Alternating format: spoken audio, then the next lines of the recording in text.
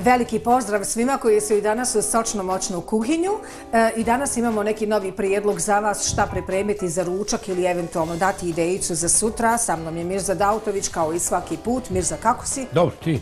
Odlično. Pruži ruku, ne boj se, znam da si ljuta, ali nema veze. Nisam ljuta. Ne slušajte ga, dragi gledatelji, nešto se tu svašta ovaj, A, pa naredalo. Dobro, ima nekih malo više sastojaka, mislim više šta je više šta je manje, nebitno. Danas pravimo ovaj salatu od, od, od kobasica, salatu sa kobasicama. Tako da. Salatu, više mi se sviđa salata sa kobasicama. Sa kobasicama, E, je, ne može biti od kobasica, naravno, Super. lapsus lingve. Znači, imamo kobasice, čeri paradajz, kukuruši čerac, zelena salata, prasa, feta, sir, sve se lijepo izmišlja, sastavi, bude jedna lagana, lagana, Re, ukusna rekli salata. bi neka lagana varijanta da nije ovih kobasica koje su onako moćne. Ovaj, taman da daju energiju. Malo mi je i neobičan taj sastojak, nikad nisam pravila nikakvu salatu, tunjevina da, pileće meso da, druge vrste mesa, ali nikad nisam eto iskoristila kobasice za salatu. Pa, slušaj, u jednoj od emisija prijašnjih smo pravili onu salatu, recimo, od oslića. Da. A, zašto je isto bilo potrebno nekih par namirnica, nekomplikovanih, bilo jednostavno za napraviti. Tako da ovaj, može salata i A bila i... neuobičajeno, nisam ni od osjeća nikad pravila i tad sam ti rekla, ja ovo, nikad nisam ovako, ovako Znaš, tretirala osjeća. Ja, nije, nije ono da kaže sad, Raj, kad kažeš salata, Raj je, ne znam, nija u glavi, zelena salata, paradajz, krastavci, paprika. Hoćeš da nešto sjećam? Trebam li nešto E, raditi? pa možeš ovaj mali paradajz onako popoloviti. Da ga popolovim. Ma ja, Neću sve ovo, jel da? ne, ne, ne. Par komada. Ovi ostali sastojci, malo te ne, mogla, mogli bi reći sve je tu već gotovo. Ja, sve je spremno, Samo samo- ćeš sad raditi te kobasce, evo sječe Ja, na nekakve, njih ću da propružim da na tavi. četvrtine. Ma evo. Evo sječe ga na četvrtine.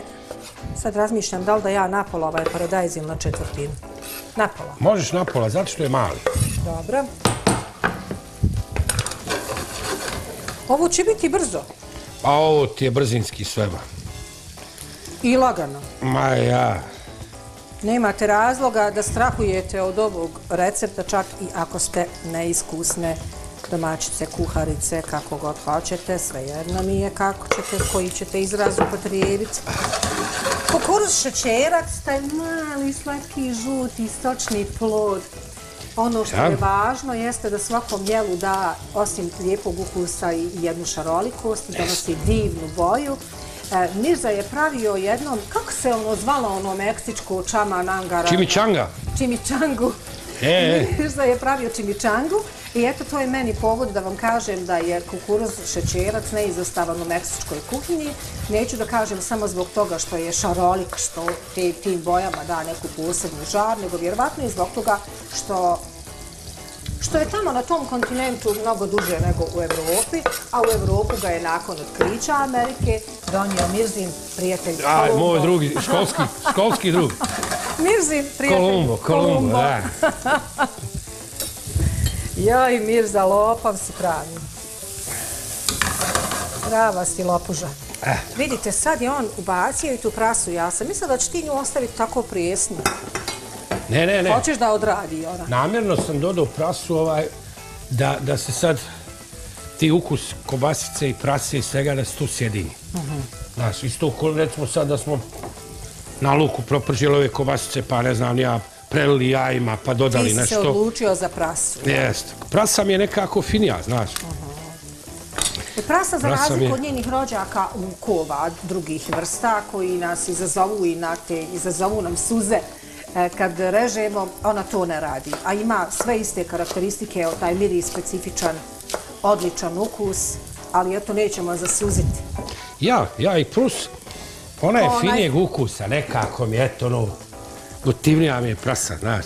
Kao onaj fazon što sam vidjela na društvenim mrežama Mirza, da li je bio dan zaljubljenih ili 8. mart, ne znam, kaže, moj muž je uvijek znao da ženi pošalje buket. A, ja, ja, ona slika. A ona ono- drži naramak onog zelenog luka, Mladog, mladog luka. luka, jest, jest.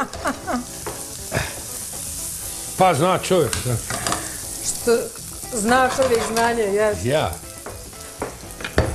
Apsolutno ne treba mnogo o ovoj prasi i ovim kobasicama. Mirza tek povremeno preokrene ovu svoju tavu, pomakne tavu, a ja bih rekla vi povremeno promiješajte i to je to. Tamo je napravljena posteljica od izrezane zelene salate, Da. dodao je kukuruz šećerac. Znači, lagano francuskom kašikom da povadim ove kobasice. Da ono višak ovog ulja i masnoće ne bi došao u salatu. Aha, dobro, dobro, zbog toga dodaješ Maja, ovo francuskom lagano francuskom. pokupimo. I lijepo miriše. Pa Prasa. prasa i, Kobasice. a i kobasice. I Znači, kobasice. ko- kombinacija je baš jeste. dobitna je kombinacija, Slažem. što bi rekli. Hoćeš na kotkice tu fetu, jel da? Hoću. Feta se nekad tradicionalno i onda kada se tek počela proizvoditi, a davno je to bilo, pravila od nepasteriziranog mlijeka. E, danas se ne brinite tako ne pravi, a nepasterizirano mlijeko nije dobro e, za recimo konzumi, da ga konzumiraju trudnice zbog toga što e, nepasterizirano mlijeko može da aktivira bakteriju listeriju koja nije dobra ni za posteljicu ni za plod ali ne brinite, danas se to tako ne pravi. Ono što je meni super kod feta sira jeste ta njegova e, već ubačena slanost. Sve ima, e, Sve dobro, ima, sve aha. E, sad malo masnog ulja. Čini mi se da neće biti ništa, nemaš nikakav... A, balzamiko. Ima balzamiko. Šta mogu koristiti ako nemaju u kući balzamiko? Pa opet standardno onaj ocat. Ocat neki, dobro. Limun, može limun? Može opet limun, pa vidi, za svaku salatu neko jednostavno ovaj, Imaš ljudi koji ne stavljaju uopšte ovu vrstu kiseline, nego uvijek svaku salatu zakisele limunom. Limunom, da. Mislim, onu, A Mirza, hoću pogriješiti ako kažem da je ovdje najvažnije da ne pretjeraju sa tom kiselinom. A to ja, to ja, jel, vidi, nije, nije, nije fazon onaj u tome, da tako se izrazim, da, da to bude neka kisela salata, nego je finta je u tome te pali dok jedeš, Ja, nego da. da, da se osjete sastojci koje jedeš, a ne da da preovladava kiselina. Primijetila sam da nisi ni solio, ni stavljao neke druge začine, je li to Nisam, zbog kobasica, bravo, prase bravo. i Zbog- feta sira? Feta sir i kobasice su dovoljno slane. Znači, nisam želio da, da pretjeram ovaj, da, da ispadne, što kažeš, preslano. Jedno, drugo, znaš što još?